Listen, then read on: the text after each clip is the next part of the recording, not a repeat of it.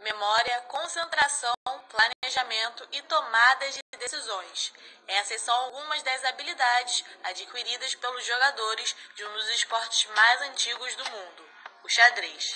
E foi por isso que o Jardim Escola Luz e Saber, em Duque de Caxias, na Baixada Fluminense, inseriu a prática no dia a dia dos alunos, levando duas de suas alunas ao primeiro e segundo lugar da Copa Brasil de Xadrez Escolar e Universitário.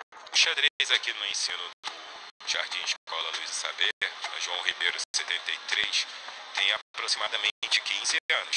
Hoje eu tenho aqui na escola uns 300 e poucos alunos.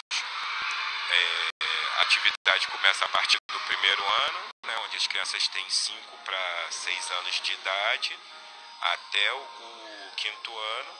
É, o objetivo primário, principal, é a utilização da questão educacional, do uso das regras, a concentração, o raciocínio lógico e o raciocínio exato.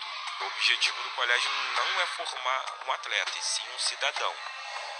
O objetivo de clubes, de qualquer tipo de atividade esportiva ou qualquer atividade, a questão competição é excludente, é excluir.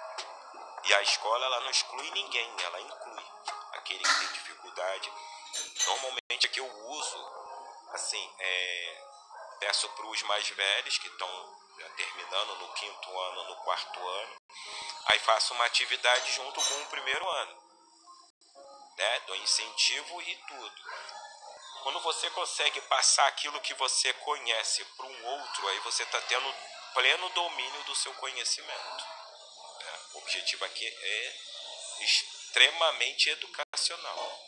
Ano, ano passado, consegui trazer o Campeonato Estadual de Xadrez da Confederação Brasileira de Xadrez Educacional, a CBXE, né? E as crianças daqui ficaram nas primeiras colocações, primeiro, segundo, terceiro. E os mesmos foram participar o, o brasileiro. Aí a escola hoje ob, obtém a campeã brasileira e a vice-campeã, né? Como você se sentiu pelo campeonato tão importante ficando em primeiro lugar? Muito feliz, animada e assustada. Tinha bastante gente lá. Muita. Minha irmã, ela foi comigo e até ela ficou assustada quando ela chamou meu nome. E quanto tempo mais ou menos você joga xadrez? Desde que eu tinha uns 7 anos. Quando você começou a jogar xadrez, você achou divertido ou você achou assim meio... Divertido. Já achou divertido? Sim. Participei da XBCZ, fiquei em segundo lugar. E você gostou de participar? Sim, Você, você aprendeu xadrez aqui na escola? sim. Quem foi que te ensinou? Professor Giovanni. Maria, você gosta de jogar xadrez? Muito. Quanto tempo você joga xadrez? Ah, já faz um pouco tempo, bem pouco. Pouco tempo. E essa medalha aí que você tá segurando, ela é de quê? O xadrez que eu ganhei do tio Giovanni. O que, que mais você gosta de fazer no xadrez? Ah, eu gosto de jogar pra poder ganhar, tipo assim. Se um colega perder, não, não tem assim como ficar triste, porque uma vez ele pode ganhar.